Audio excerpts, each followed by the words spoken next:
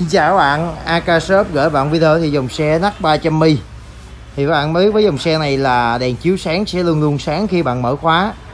Thì với video hôm nay đó, giải pháp tắt đèn chiếu sáng Sử dụng là nút passing trên xe Kết hợp uh, nhấn giữ 3 giây dùng để tắt mở đèn chiếu sáng. Với những dòng 300 mi trước kia thì chưa có cái phần nút này. Ngay chỗ này phần nhựa này nó sẽ là trơn luôn thì có thể chọn giải pháp là móc công tắc đèn. Nếu các bạn à, cần à, móc công tắc đèn, tắt đờ mi, tắt chiếu sáng riêng. Còn với dòng này, dòng đời mới sau này 2020 này thì à, có luôn cái nút này. Thì không tận dụng được cái khoảng trống này để làm cái nút nữa.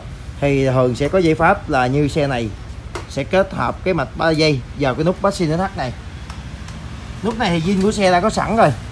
Mình chỉ cần đấu thêm cái mạch tắt đèn thôi và sử dụng vào trong này vì tắt mở đèn rất đơn giản chỉ bằng các bạn đè cái nút chế độ passing này khoảng 3 giây, giữ luôn. Tầm khoảng 3 giây các bạn buông tay ra, thì lúc này đèn chiếu sáng sẽ được mở.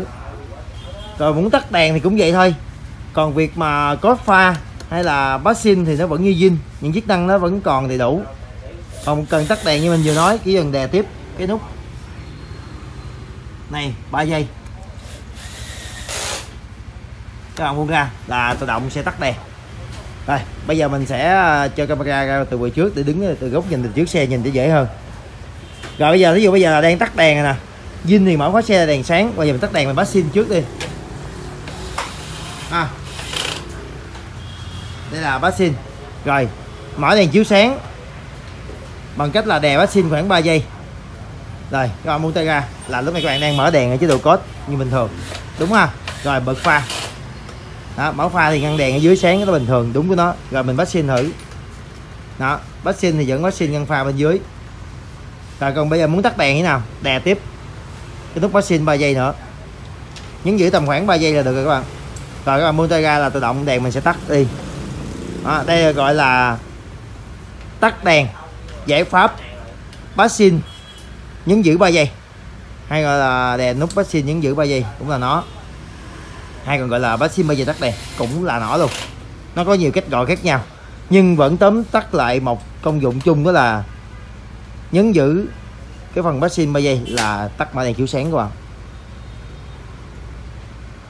Những dòng xe khác như là ờ, mình đã làm cái giải pháp bay này giống như là dòng xe ờ, AB 2020 cũng có rồi SH 150 đời 2020 cũng làm được luôn. Hay là dòng xe Vigo. Vigo là dòng xe nhập khẩu thì cái đó xưa giờ không có công tắc đèn rồi.